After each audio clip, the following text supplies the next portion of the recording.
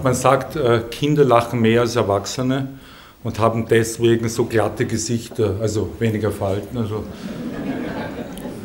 lacht man halt. Äh, Chaplin hat gesagt, äh, ein, ein, Tag ohne Lachen ist ein verlorener Tag. Ist auch nicht schlecht. Du tust mir Unrecht. Du hast ja keine Ahnung. Das Barocktheater Lambach setzte also wieder einen Höhepunkt, denn der beliebte charismatische Schauspieler und Regisseur Karl-Heinz Hackel gab ein Gastspiel mit seinem neuesten Soloprogramm Lachen ist gesund.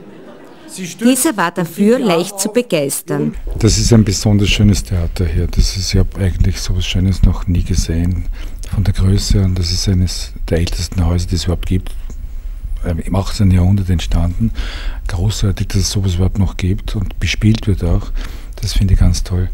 Und äh, für mich besteht da kein Unterschied. Also ich glaube, ich, ich versuche halt überall das Letzte zu geben, was ich habe.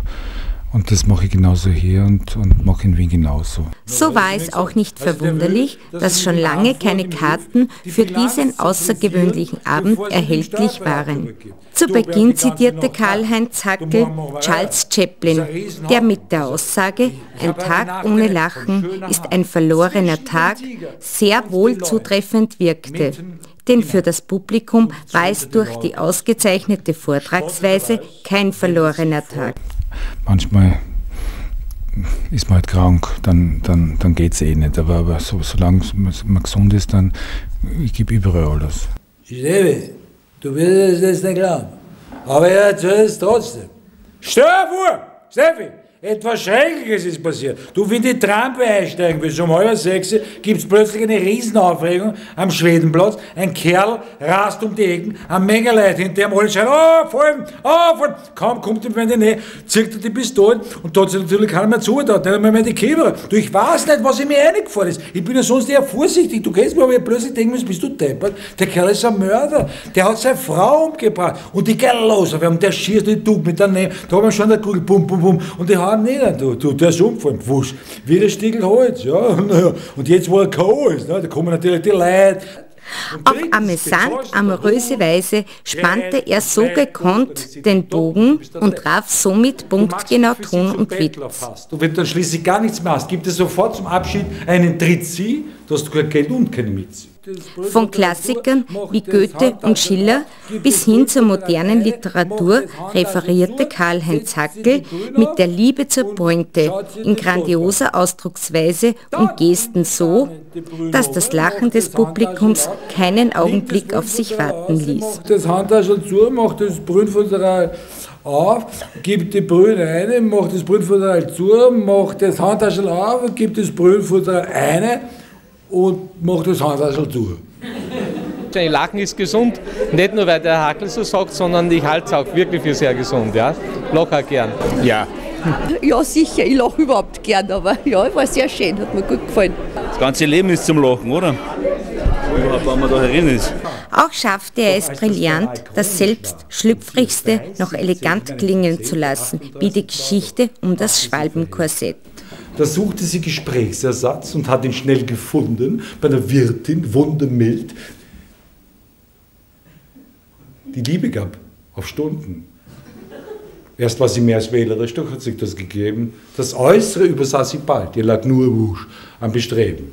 Die Wirtin hatte leichtes Spiel, ihr wie der Gatten zuzuführen, und sie, sie lauschte mehr als gern den heißen Männer schwüren. Dass auch Schillers Handschuh in der heutigen Zeit für Unterhaltung sorgen kann, bewies er mit der Interpretation von Helmut Qualtingers Version von diesem. Da fällt von des Altans Rand ein Handschuh von schöner Hand zwischen den Tiger und den Leuen mitten hinein. Für uns ist Karl-Heinz Hackel eine Persönlichkeit, der keine Starlüren mit sich bringt, da er sich gerne zur Bereitschaft erklärte, uns ein Interview zu geben und in diesem auch ganz offen über seine schwere überstandene Krankheit zu erzählen vermochte. Also ein Mensch wie Sie und ich. Das Leben ist ja manchmal ziemlich hart und gar nicht lustig. Und ich habe manchmal viele Dinge sehr viel ernster genommen, als ich es nach der Krankheit tue jetzt und wichtig genommen.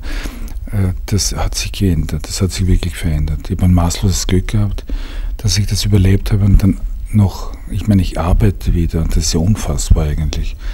Und ich habe durch eine Krankheit profitiert. Sogar profitiert habe ich davon, finde ich. Weil ich habe was gekriegt, dazugekriegt mit der Krankheit, nämlich ein Bewusstsein, ein anderes erweitertes Bewusstsein. Und hoffentlich gebe ich vielen Leuten Kraft und Mut. Also auch nicht nur den Kranken, sondern auch den Menschen, die die Kranken pflegen. Man sollte Platz machen und sollte auch äh, zurücktreten rechtzeitig und sagen, sollen die anderen machen. Nicht aus Faulheit, aber ich glaube, man, man soll sich den, den, den Zeitpunkt erwischen, wo man sagt, jetzt jetzt äh, ist es gut, jetzt ist es genug. Ich habe manchmal das Gefühl, dass es bald sein könnte. Ja? Äh, es, es, wird bald sein, glaube ich. In diesem Sinne, liebe Zuseherinnen und Zuseher, lachen Sie und bleiben Sie gesund. Ich fühle mich halt so locker. Trinken schnell bei mir um noch einen Mokka? Nein, das geht nicht. Sagt darauf der Mann, ich habe keine frische Unterhose noch.